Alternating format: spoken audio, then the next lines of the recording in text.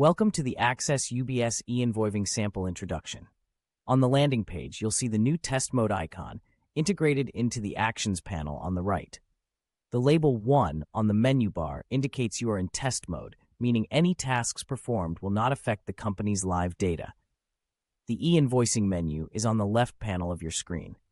Click to expand and access all e-invoicing workflow functions.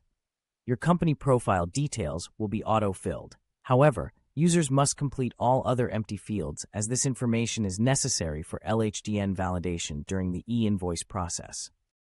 All customers from your customer masters will automatically display on this screen, providing any missing information needed for e-invoicing. Click the icon under the Action column to update customer information. All supplier from your supplier masters will automatically display on this screen, providing any missing information needed for e-invoicing.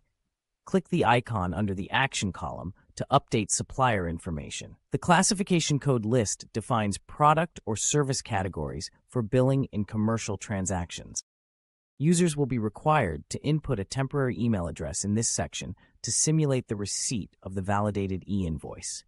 Lastly, the outgoing dashboard is the centralized hub managing all invoices generated within the system. Please activate LHDNM or Peppol in company configurations, send method, to use this function. For more information, kindly contact 01 203 7670.